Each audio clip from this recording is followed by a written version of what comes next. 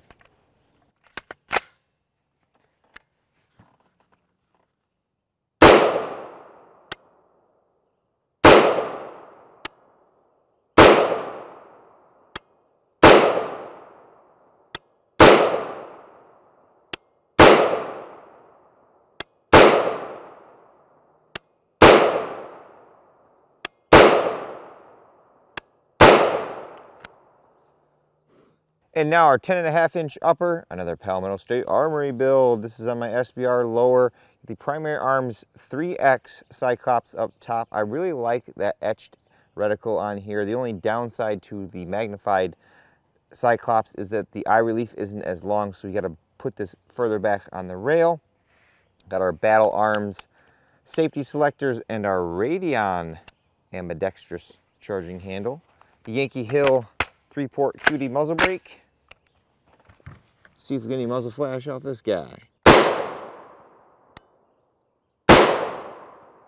Not seeing any muzzle flash.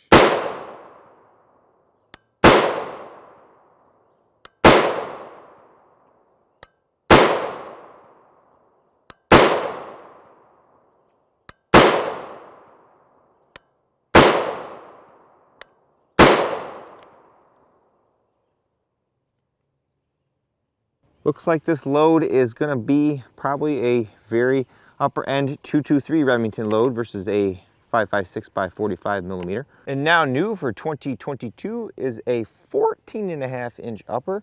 In full transparency, I contacted Pro 2A Tactical and worked out some details to get a 14 and a half inch 556 upper as well as a 9 by 39.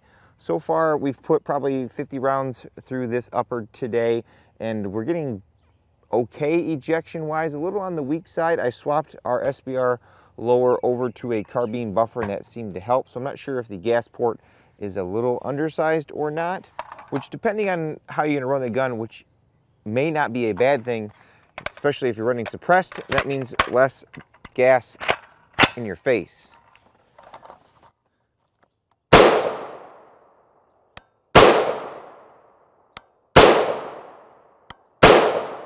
Looks like we're right around the two o'clock-ish ejection pattern. Almost three. That one's at three.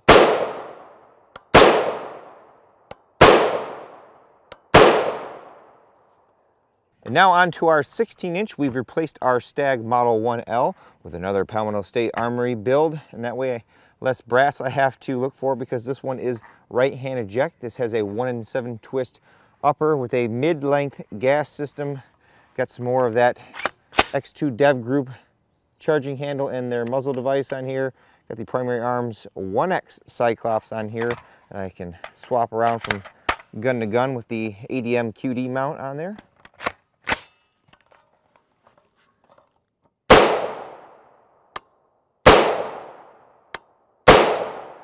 Getting good ejection on this particular upper. I do believe I have the H1 buffer in this lower.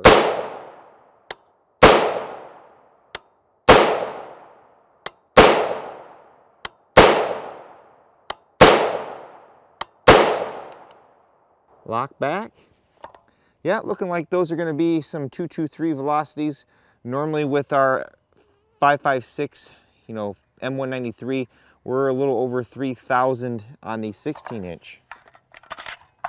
Now on to our 20 inch. This is a Palmetto State Army build. Again, I tend to buy most of my uppers from them because I have to buy a whole bunch of different barrel lengths because somehow I get convinced into buying them. So I gotta stretch those YouTube influencer duelers a little bit there.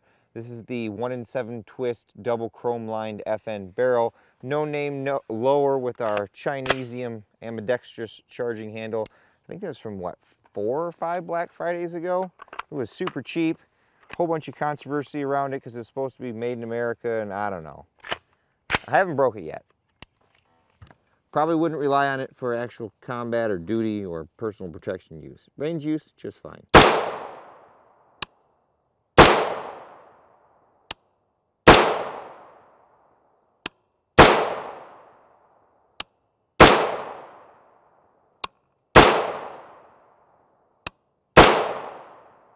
Air? What do you mean air?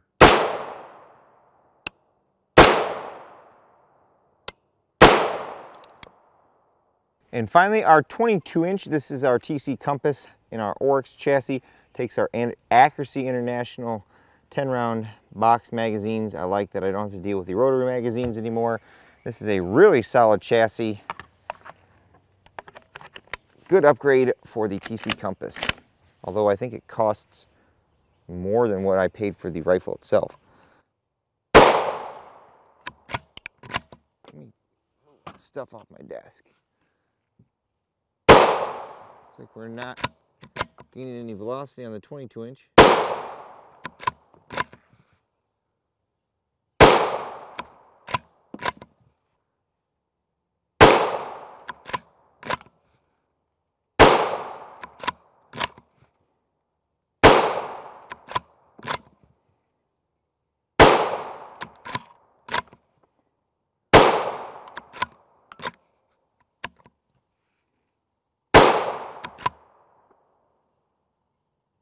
Ladies and gentlemen, boys and girls, children of all ages, our results that you see in front of your eyes are very much identical to what we saw with our Norma 55 grain full metal jacket. When we see a reduction in velocity with a 55 grain full metal jacket, at least in my skill set, we're seeing an increase in our accuracy or a shrinking of our groups. This is our Callaway Ballistics 55 grain full metal jacket 223 slash you know 556 load. We're a little short on calling it M193 velocity wise, but at 100 yards, TC Compass 22 inch barrel with the turbo 556 and a brand new Primary Arms Silverline 16 power first focal plane scope. Our first group 0.69 inches. Our second group 0.976 and I was actually shooting these fairly quickly our worst group, 1.521 inches. I might have pulled that one, but look at how close these are together. And then our fourth group, 1.171 inches. So if you're going for more accuracy, this is where you don't potentially need all that extra velocity that a M193 55 grain full metal jacket load will give you. Interesting. Very solid plinking load. Great job, Callaway Ballistics.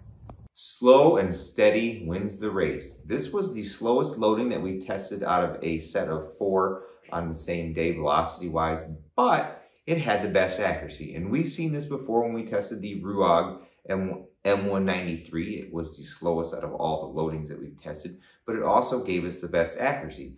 Not everyone is always looking for screaming hot loads. If you're looking for a solid plinking load that potentially you would use in a gun that actually has a 223 Remington chamber. Something like this from Callaway Ballistics would be your best bet. With all that being said, I'm going to get the heck out of here. And at the end of all my videos, I take a moment to thank all those who help make these possible. Number one is my Patreon and SubscribeStar fans. I have a link tree in the description below with various ways to contact and or support me. Number two is my friends over at Callaway Ballistics who, in full transparency, contacted me and asked me to provide a review on some of their products. I'm really liking the different things that they have to offer, and hopefully, they're going to do some more of the less common rounds coming up, like 8.6 black and 9 by 39 That would be good to have brass sources for those. And of course, number three is you all for watching. Until next time, I'll catch you at the range.